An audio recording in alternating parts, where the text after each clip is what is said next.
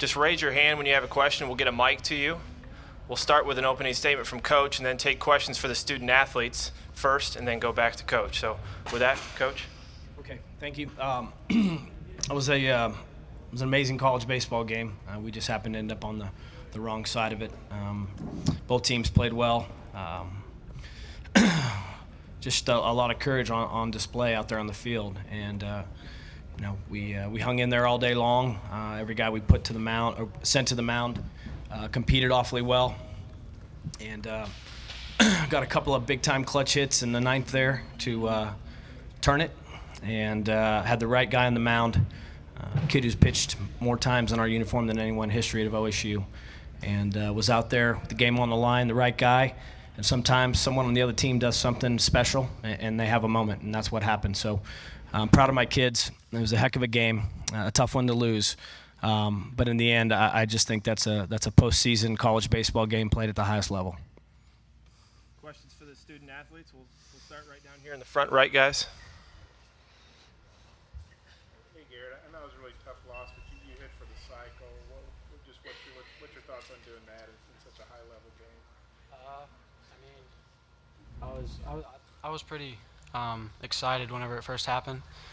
Uh, but I mean, as soon as as soon as that was over, I just tried to switch switch the uh, mind to all, or defense, and uh, so I could compete well on defense. Uh, I mean, I just tried to basically short-live it, and then, um, but it, it was it, it was a great time. Yeah. Back down to the front right. Uh, two questions for for Trey. Um, first of all, you're out there when they when the when the guys come all the way back to get you the lead. Um, your observations of that as it was happening, it looks like you know you guys have been living on that kind of uh, finish all year. Uh, yeah, it was awesome. Um, the guys performed in the clutch. You know, Garrett and Garrett have been really good for us all year, and they came up they came up really big for us. Um, you know, it, it's tough uh, to not finish the job, but whenever you know you see that kind of like rally and that kind of motivation and fierce competition from our guys not to give up you know that's going to play into tomorrow too. You know, because you know this thing's not over. It takes two to get you out of here, and um, you know our, our, guys have we've had our backs against the wall for a while now, and so uh, this is nothing new. And uh, I think we showed that in the ninth, just the fight and confidence that we had to get it done. Sure, it's it, I'm sure it's never good to give up a home run. Never feels good. Never feels good to give up a walk off. But when they've come all the way back from that, from down 3-0, and then that happens, that make it hurt even more? Oh yeah, definitely. Um, you know, because you're sitting there and you're on the bench and everybody, you know, everybody in the dugout's confident that you're going to win the game now. Um, I threw the ball pretty well. Um, really, through those three innings, the kid made a great swing on a fastball low and out. Um, all credit goes to him. You know, he's a great hitter, and um, you know, I thought the game was over in our favor as soon as he hit it, and then the wind kind of got it and just took it with it. So, but man, that's a heck of a swing from that kid, and um, you know, all, all, credit goes to him. But um, you know, it's, it's tough. You, you never want to you never want to end the game um, with something, you know, with you throwing the ball and then hitting a home run like that. But, um, you know, we just got to come back, flush it, and come back tomorrow and compete.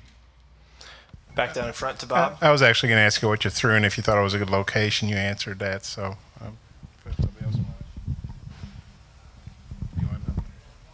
um, Right to your left, guys. Garrett, this will be, I think, the fourth time you guys have faced elimination in the span of a couple of weeks. So, not a spot that you guys aren't familiar with. Uh, no, I mean, as far as we're concerned, we've uh, we've been in our playoffs for a couple weeks now. I mean, ever since back to uh, the Bedlam series, whenever we had to win those two games just to get into the Big 12 tournament. So, I mean, we've had our backs against the wall for quite a while now, and I'm still 100% confident in everyone up and down the lineup that uh, we can we can pull through and get the job done. Any more questions for the student athletes? Okay, thanks guys. Questions for Coach Holliday. Front down to the left. Uh, Coach, just the the play at the plate with Sluter, just how close, you know, what was your view of it? I thought it was close. Um, that's probably all I'm allowed to say obviously, I went out and asked him if he was sure because I wasn't. Yeah, I guess the other question, excuse me, the, the other question just would be who would you start tomorrow? Uh, Joe Lenhart. Josh, this wave that you guys are on right now, after you took the lead in the ninth, I'm sure you were confident you'd win at that point, but did you just kind of feel like it was a destiny situation after you'd done that? Well, um, I was just proud of the way we were hanging in there every pitch. But but I think one thing we know, and, and I don't think anybody on our team um, thought, well, the game's automatically over because one of the biggest things we've learned throughout the season is how critical it is to finish a game to the very last pitch. Um, because great college baseball games in general go down to the last pitch. Th- we know that. So we, we didn't by any means uh, think, oh, this is over, especially the spot in the batting order that was leading off for them. Uh, they're one of the better hitting teams in the country. And we've navigated the Big 12 all year, which, you know, had its fair share of excellent teams and outstanding hitters. And uh, those boys in the middle of their order – are pretty special. And they're older, experienced, stronger kids that have taken a lot of clutch at bats. And uh, I compliment them. They're very good. And those were very difficult hitters to navigate. And I wouldn't have wanted anyone in the world out there to do it more than Trey. And he made a good pitch. and the kid, he barreled it. And he's a strong kid. And he, he hit it, it with good trajectory. And just tip your cap to him. I mean, I'm not to, we didn't lose the game. They won it. That's all, that's all there is to it. That's that's that's the reality of how the the competition played out. And what we have to deal with is um, we have to come through the losers bracket as a result. But I give them credit. You know, we we did our thing and we were in there to the last pitch, and and they did their thing. And that's sometimes the the spirit of sport. The cycle's such a rare event. Could you speak to Garrett's accomplishment today?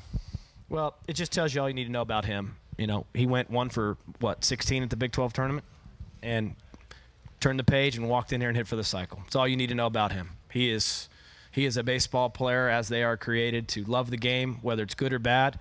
And uh, he had a tough week, and he turned right around and walked out here today and hit for the cycle. So I think that tells you a little bit how special his mind is, how tough he is, and how gritty he is. And uh, he and Garrett McCain, um, man, that's been a that's been something fun to watch. These guys have been special, and I wasn't surprised when Garrett got a hit and Benji knocked him in. It, I wasn't surprised. In fact, I kind of expected it. Just right down in front to that end, Josh, uh, if you as you kind of expected it, you guys chip away. You're down 3-0, chip away one in the fourth, one in the fifth, one in the sixth. Then you get two in the ninth.